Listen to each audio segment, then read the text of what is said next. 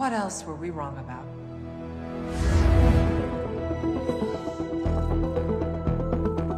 We have mapped less than 5% of Hollow Earth, but our ecosystems are linked in ways we never could have imagined. We are not two separate worlds, we're one. Kong is settling in to Hollow Earth. So the big guy likes his new home. We think so. His species was a very social one. It's not natural for Kong to be so alone. He's the last of his kind. Every day he searches for a family that he'll never find. What about Godzilla?